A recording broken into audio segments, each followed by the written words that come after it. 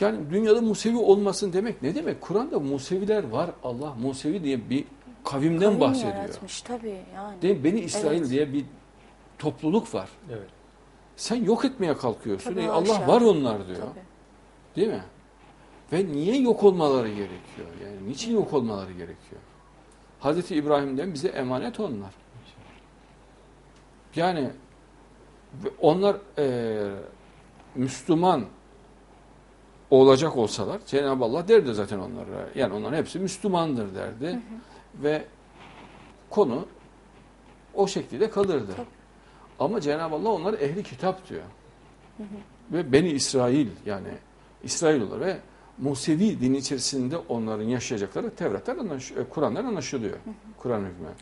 Ancak Hazreti Mesih zamanında Mesih indikten sonra onlar e, kendi istekleriyle severek baskı değil. Bakın bu çok önemli. Evet.